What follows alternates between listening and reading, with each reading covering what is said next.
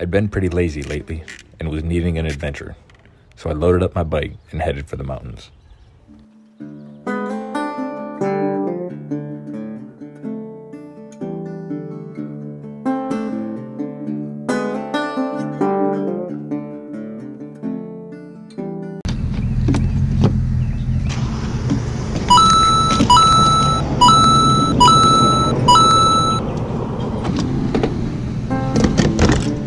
Kicked you out by the side of the road, all alone in the dead of the night. The plan was to start at Oconee State Park and explore some of the mountains and waterfalls in the area. Rain pouring down, you're soaked to the skin, pleading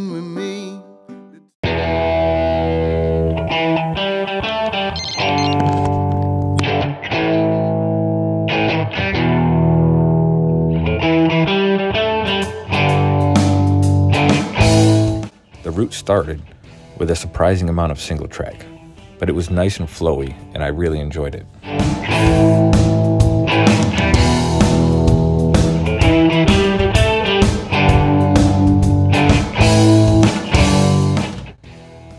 The trail kept opening up next to small lakes. It was really beautiful.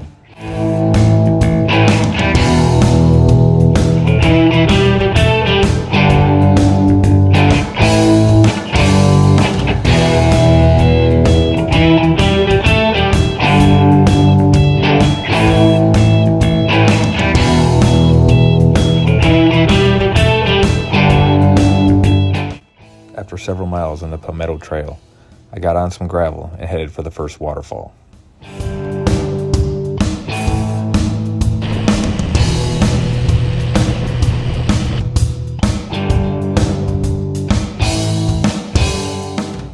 The first large waterfall on the route is Issaqueena Falls.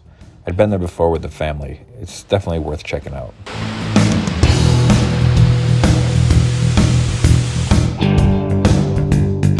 The climb up out of the falls area is relentless. It's short, but definitely steep.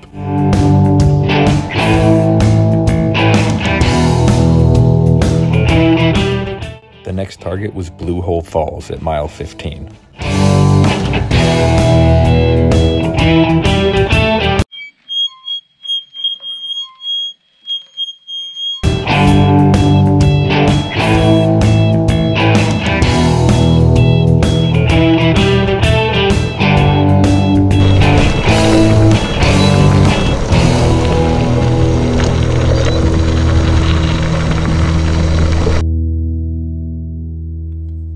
Since I couldn't see the waterfall where I was, I threw the drone up in the air to see if I could find it from above.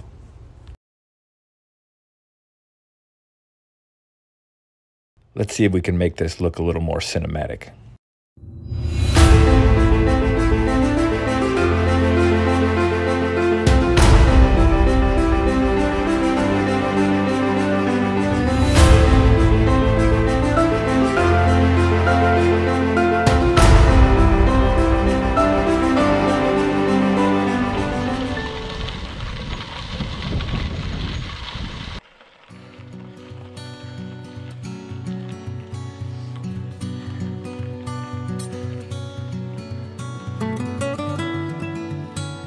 This route really does get pretty remote.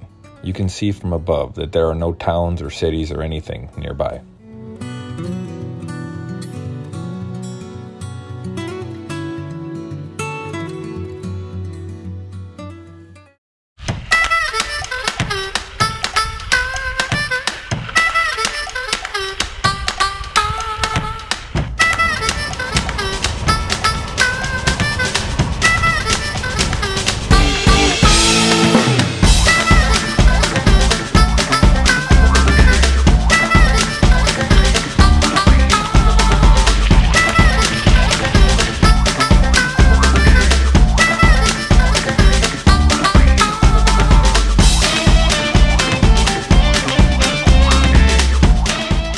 everyone who rides a bike up a mountain knows the best part is screaming down the downhill on the other side.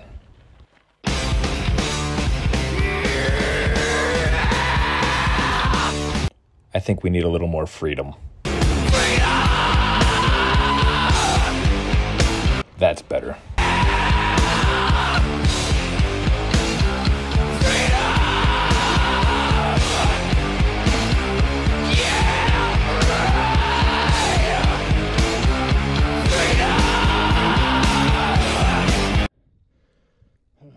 Next section was all paved, so I was able to make up a little time.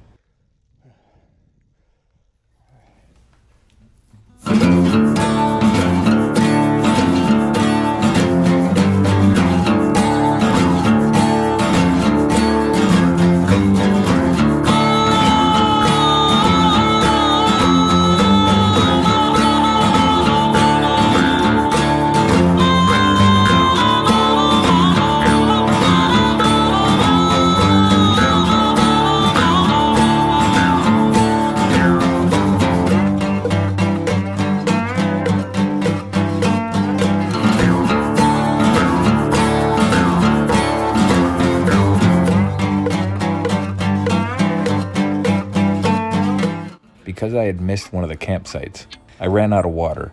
Luckily, I was able to find a church with a spigot in the back.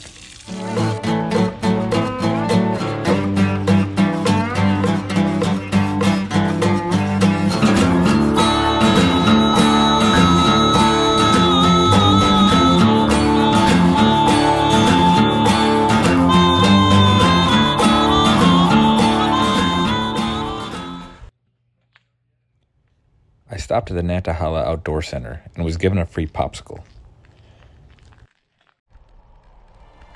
I had about 15 miles left to get back to the park, but I wanted to find one more waterfall.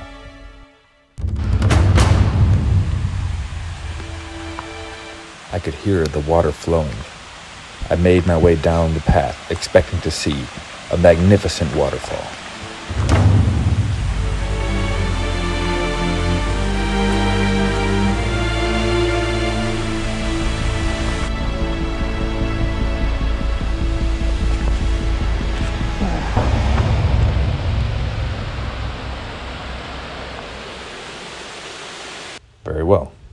That's it.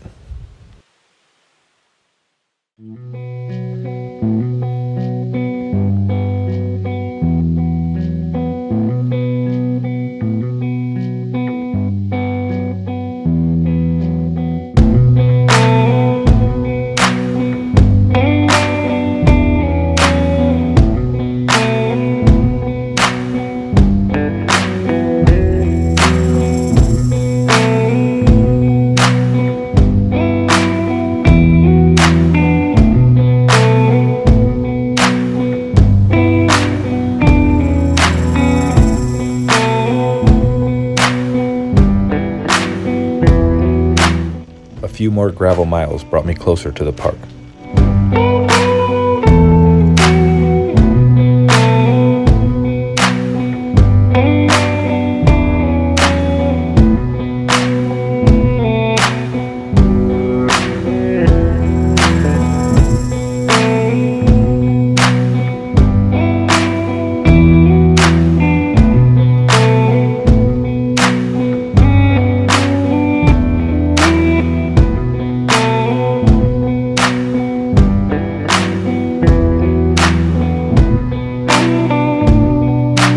All in all, the day consisted of about 50 miles and over 5,000 feet of climbing.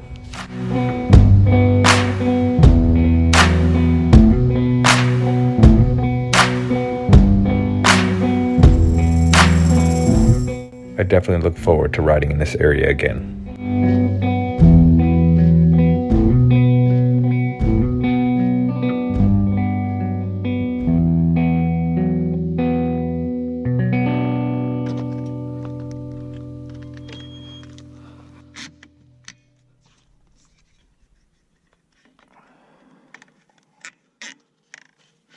Thank you for watching.